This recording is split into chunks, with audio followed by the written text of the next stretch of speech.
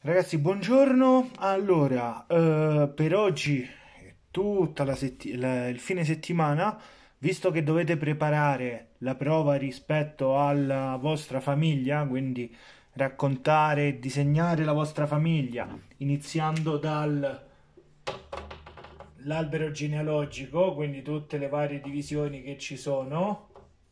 Poi ci mettiamo io. Ne abbiamo tutte le varie cose importanti da dire. Fate il disegno.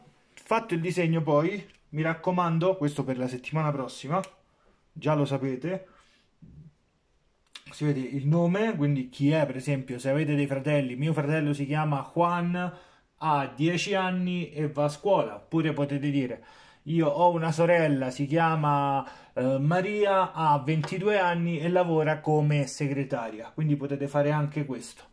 Ok? Vi mando per il lavoro da fare, diciamo, in classe, però ovviamente lo fate a casa. Vi mando, fatelo se non lo avete già fatto.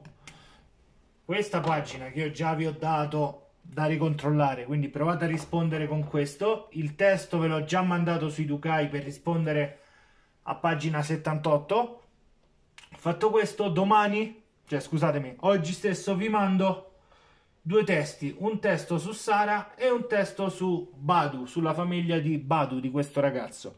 Rispondete anche a quelle domande e inviatemi le foto, vi aiuta perché così finiamo completamente la parte sulla famiglia, che sarà anche una prova quando ritorneremo a scuola più là per il parziale. Qualsiasi dubbio, per favore scrivetemi. Ciao, ciao.